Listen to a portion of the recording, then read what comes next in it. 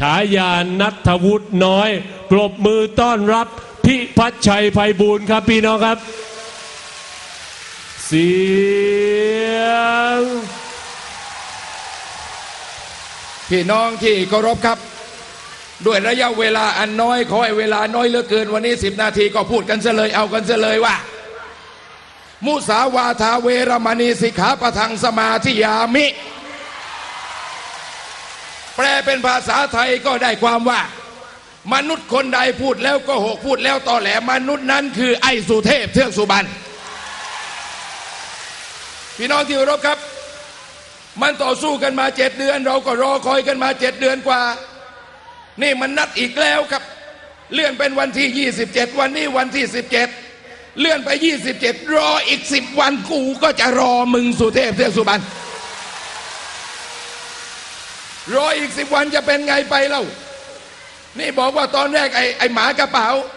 เริ่มชุมนุมตั้งแต่วันที่5บอกว่า15วันไม่ได้15วันไม่ชนะ จะเดินเข้าคุก พอมาวันนี้เลื่อนเป็นวันที่27สุเทพบอกเมื่อก่อน การเลือกตั้งถ้าแพ้จะขุดรูอยู่ชุมนุมเสร็จถ้าไม่ชนะจะผูกคอตาย แพ้ก็จะเดินเข้าคุก นี่ก็เลื่อนจะเดินเข้าคุกอีกแหละ ตกลงว่าสุเทพเทือกสุบรรณและก็กลุ่มของพวกคุณทั้งหมดเนี่ย มึงจะเอาอยัางไงกันแน่ แล้วก็คิดจะจัดการวิธีการว่าเมื่อสวได้ประกาศ ได้ประกาศชัดว่าสวต้องทำอย่างนั้นต้องทำอย่างนี้ หน้าตานั่งร้องไห้อย่างกับพ่อคนโตตายอย่างนั้นน่ะเดินร้องไห้เสร็จไปนั่งอยู่ท่ามท่ามกลางมวลชน ตอนที่สวกำลังจะแถลงทำเป็นเท่ เดินเข้าไปในกลุ่มมวลชน แล้วก็ขอทางกลุ่มมวลชนนั่งแปะพอสวแถลงเสร็จโอ้โหต้องหิ้วปีกขึ้นในบ้า แล้วนี่มาใหม่ครับ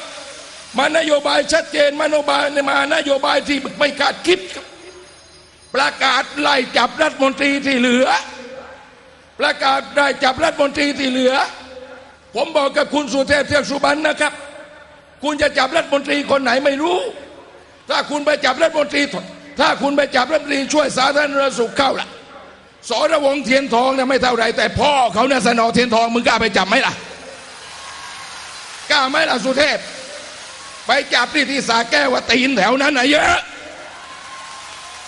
สรวงเทียนทองก็ยังไม่เท่าไรถ้ามาจับรัฐมนตรีคนเสื้อแดงนัทวุฒิเขาล่ะนัทวุฒิก็ไม่เท่าไร แต่คนที่รักนัทวุฒิเนี่ยเขาอยู่กันเยอะที่นี่เนี่ยนอกจากมีคนเขาอยู่กันเยอะเขารักนัทวุฒิกันเยอะแล้วเนี่ยสุเทพมึงลืมไปหรือเปล่าหน้าชายของนัทวุฒิก็เป็นกำนันเหมือนมึง แล้วยิงปืนแม่นครับกำนันดำคนนั้นยิงปืนแม่น นอกจากกำนันดำแล้วเนี่ยนะครับไม่ว่า สุเทพมึงลืมไปหรือเปล่าว่าพ่อตานัทวุฒิก็เป็นกำนัน ยิงปืนแม่นเหมือนกันมึงลืมไปหรือเปล่า นี่สรุปหมายความว่า ในประเทศนี้ไม่ต้องทำอะไรกันแล้ว อยู่วันหนึ่งสุเทพประกาศเป็นองค์รัฐาธิปัตย์อยู่วันหนึ่งสุเทพประกาศไล่ล่าจับตัวรัฐมนตรีถามว่าสุเทพประกาศไล่ล่ารัฐมนตรีประกาศจับตัวรัฐมนตรี นี่คือการคุกคามกันเห็นเห็นนี่คือการคุกคามกันชัดๆ จึงอยากจะถามผู้พิทักษ์สันติราษฎร์อยากจะถามผู้ดูแลแผ่นดินนี้ ว่าจะปล่อยให้กบฏเหล่านี้คุกคามพี่น้องประชาชนถึงการคุกคามรัฐมนตรีกันแล้วหรือยังไงเอาเถอะจะรอ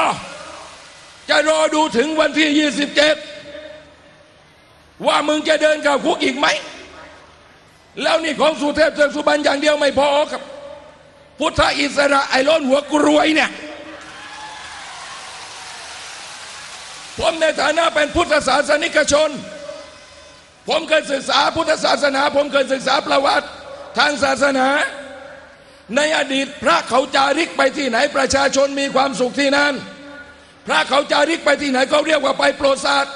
พระจาริกไปที่ไหนประชาชนมีความสุขที่นั่น แต่ไอ้พระเฮียนี่ไปที่ไหนประชาชนตายที่นั่น และประชาชนเจ็บที่นั่น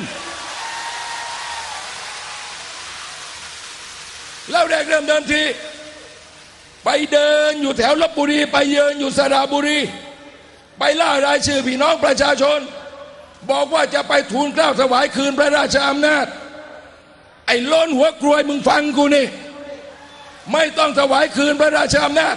เพราะพระราชาอำนาจเป็นพระราชาอำนาจที่มีอยู่อย่างเต็มพระองค์แล้ว พระองค์มีพระราชาอำนาจ อยู่เต็มเต็มแล้วไอ้ล้นหัวกรวยมึงจำไว้ นี่คืออะไรครับ ปัญหาที่เกิดมาที่พวกมึงสั่งสมสั่งสมสั่งสมสมสมสมสมสมขึ้นมาเจ็ดเดือน ปัญหาทั้งหมดที่เกิดขึ้นเจ็ดเดือนที่พวกมึงทำกันมาทั้งนั้น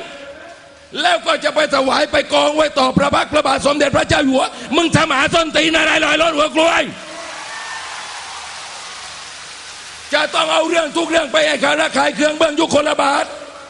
เอาเรื่องที่พวกมึงทำความชิบหายไว้แล้วไปกองไว้ต่อหน้าพระพักตร์ ให้พระองค์มีลำให้พระองค์ลำบากพระไทย นี่เหรอคนรักสถาบันพระมหากษัตริย์ไอ้กลุ่มกปปสทั้งหลายเศรษฐกิจชิบหาย บ้านเมืองวุ่นวายความแตกแยกเกิดขึ้น แล้วพอไปถวายพระราชอำนาจก็จะอ้างว่าแล้วแต่ดุลวินิจของพระบาทสมเด็จพระเจ้าอยู่หัว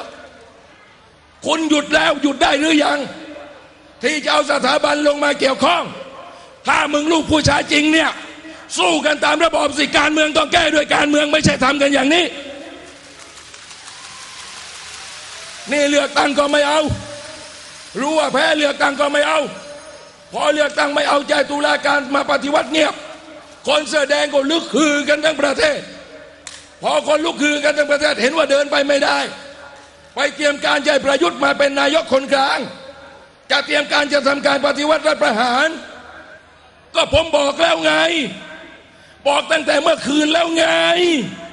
ถ้ามึงตั้งนายกคนกลาง คนเสื้อแดงประมาณ 20 ล้านคนจะไปเอานายกมาจากเชียงใหม่ พร้อมกับนัทวุฒิใส่เกลือ แล้วแห่นายกเข้ากรุงเทพมหานคร เอาสิครับ เอากันในสนุก เอากันในมัน ผมพูดตั้งแต่เมื่อคืน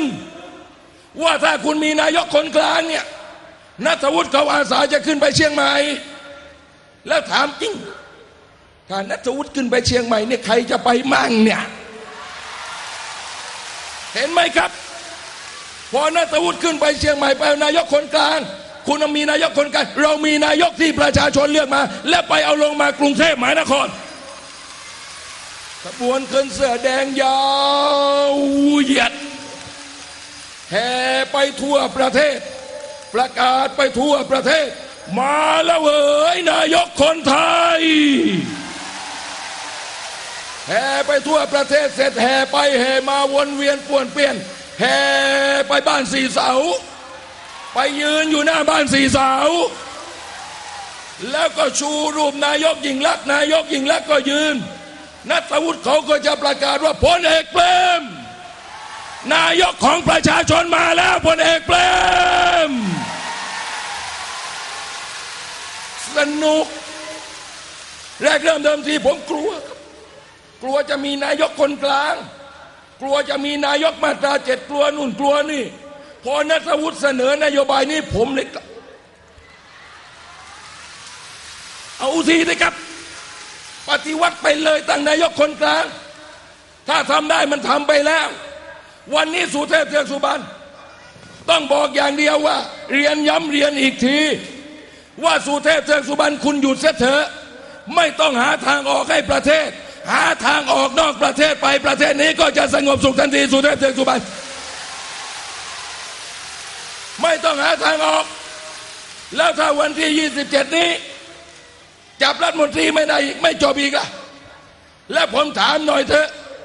เมื่อเขาประกาศจับตัวรัฐมนตรีเนี่ยหน่วยอรินทราชอะไรอยู่ตรงไหน รัฐมนตรีเขาก็ต้องขอหน่วยนี้เข้ามา แล้วอะไรจะเกิดขึ้น คนเราทุกคนเนี่ย มานักตัวกลัวตายกันทั้งนั้น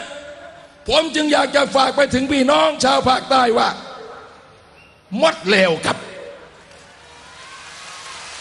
มดเลวกับชิบห้ายแล้วครับ ไปไหนไม่ทุกแล้วครับมันหัวชิบห้ายแล้วครับมันหัวถึงประกาศจับดัดมนตรีแล้วครับ วันหนึ่งประกาศตัวเองเป็นองค์รัฐาธิปัตย์ไอ้รัฐาธิปัตย์หัวกรวยพอประกาศเป็นองค์รัฐาธิปัตย์ไม่ต้องห่วงกำนันในฐานะหัวหน้าการชุมนุม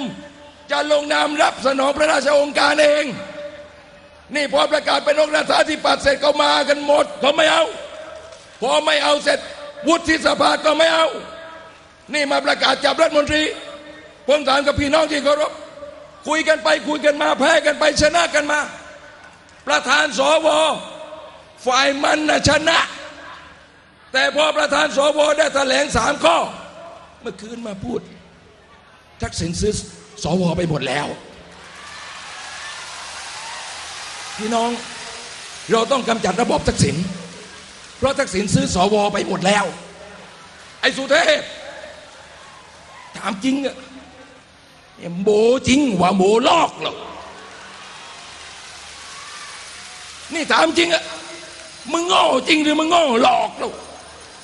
ถ้าทักษิณก็ต้องการซื้อสวเนี่ยเขาซื้อตั้งแต่เลือกประธานแล้วแล้วพวกมึงก็ไม่ได้เป็นรอกประธานสวเขาซื้อตั้งแต่ตอนนั้นแล้วเขาจะมาซื้อตอนนี้หาพ่อมึงอะ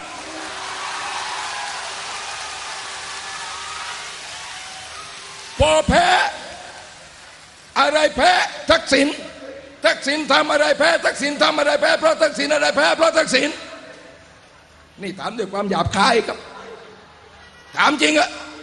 ถ้านอนกับภรรยาแล้วไม่สำเร็จเนี่ยบอกว่านึกถึงหน้าทักษิณหรือเปล่าเนี่ยคุณศรีสกุลยกตีนถีบให้กำนันสุเทพผิดฟอร์ม น้องใจเย็นเย็นน้องใจเย็นเย็นทักษิณมันมาหลอกหลอนพี่ พี่ไม่มีอารมณ์ ไม่ได้นะสุเทพ เกิดเป็นทักษิณนี่ก็แหมน่าสงสารครับ